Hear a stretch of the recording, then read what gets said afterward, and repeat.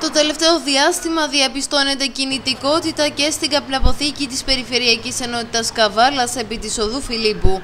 Έχουν ξεκινήσει εργασίες για την επιδιόρθωση των παραθύρων από την πλαϊνή πλευρά του κτηρίου, καθώς και η επιδιόρθωση της στέγης της καπναποθήκης.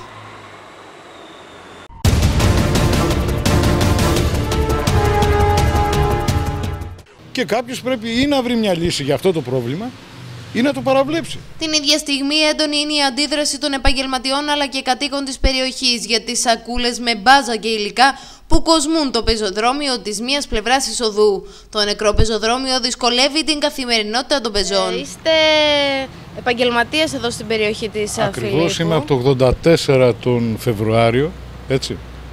Έχουμε δει πολλές καταστάσεις εδώ, αλλά αυτό το αλαλούμ παρουσιάζεται παρουσιάστηκε ακόμα μια φορά πριν από 10 περίπου χρόνια όταν ήρθαν για να προσπαθήσουν να κάνουν μονά ζυγά γελοιότητες σε ένα δρόμο ο οποίος έχει 500 αυτοκίνητα μέχρι του Καμπούρι το φούρνο έτσι να κάνουν μονά ζυγά.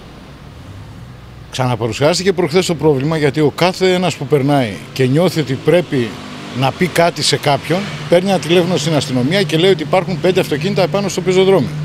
Τα αυτοκίνητα αυτά που είναι στο πεζοδρόμιο δεν είναι σε όλο το μήκος οδού, είναι σε ένα συγκεκριμένο κομμάτι και το οποίο έτσι πρέπει να γίνει γιατί. Γιατί είναι αμφίπλευρη η θέση που παρκέρουν τόσα χρόνια ο κόσμος, είναι σπίτια, είναι γειτονιές, δεν έχουν περιθώρια να πάνε κάπου αλλού να παρκάρουν, έτσι, προς Θεού τώρα. Παραβλέποντας όλα αυτά τα φαραωνικού τύπου εδώ, τα οποία θα έχετε τραβήξει αυτές εδώ τις γελιότητες του δημοσίου, όπου είναι ένα σύγχρονο γεφύρι της Άρτας, έχοντας φύγει ούκο λίγα λεφτά του δημοσίου, ε, δικά μου, δικά σου και ολονών των καβαλιωτών.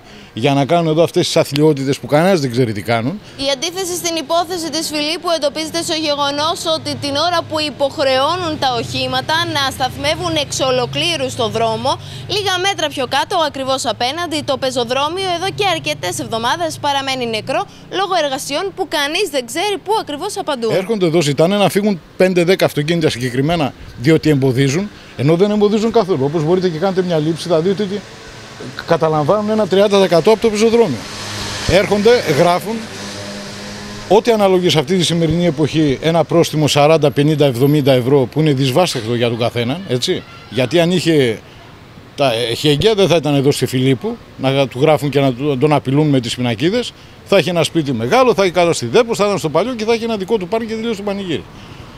Και έχουν βάλει κάτω τα αυτοκίνητα τώρα δύο-τρεις μέρες, έχουν φοβήσει τον κόσμο, βάζουν τα αυτοκίνητα κάτω, με συνέπεια να έχουν έρθει από το πρωί σήμερα, Παρασκευή, δύο φορές η σκουπιδιάρα και να έχουν φύγει, δύο φορές ήρθε και έφυγε, γιατί ένας Σαλονικιός προφανώς είδε ο άνθρωπος ότι όλοι είναι κάτω, το έβαλε και αυτός για να είναι νόμιμος για αυτούς. Παραβλέποντας ότι δεν περνάει η σκουπιδιάρα, κούφια η ώρα δεν περνάει και η πυροσβεστική, τους επαγγελματίες που δεν περνάνε και κάνουν όπισθεν δεν τους λογαριάζει κανένας, έτσι. Και κάνουν όλο αυτό το μεγάλο χάλι τρομοκρατώντα τον κόσμο.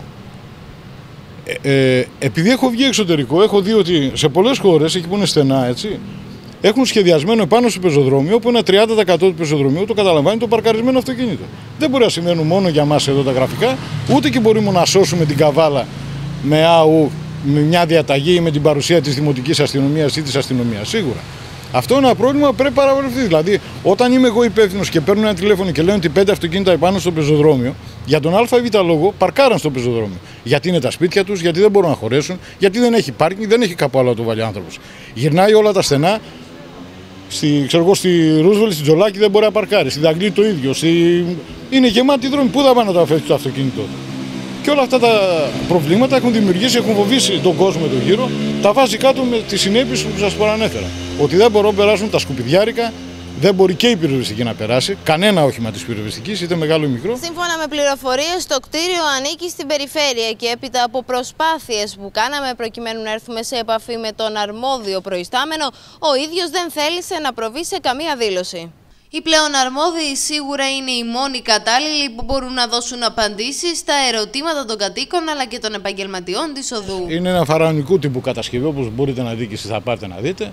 Είναι και τα μπάζα που κανένας δεν ρωτάει, παιδιά, αυτά τα μπάζα πιανού είναι; Γιατί όποιος συναρθεί θα πούνε ότι αυτό είναι το δημοσίου, δουλεύουν κάποιοι μέσα, τα αφήσαν εδώ. Και, και πιστεύω ότι αν κάνετε σε ένα, ενάμιση, δύο μήνες ρεπορτάζ, πάλι εδώ θα είναι. Εδώ τρώνε, τρώνε, τρώνε λεφτά, αλλά δεν, δεν τους βγαίνει. Στην αρχή ήταν να γίνει εφορία, μετά θα γινόταν δεν ξέρω τι. είναι, δεν παίρνει το ύψος, δεν είχαν βιομηχανικό ρεύμα. Ξέρω εγώ τι κάνουν μέσα. Δεν. Τη ζω αυτή την κατάσταση εδώ και πάρα πολλά χρόνια.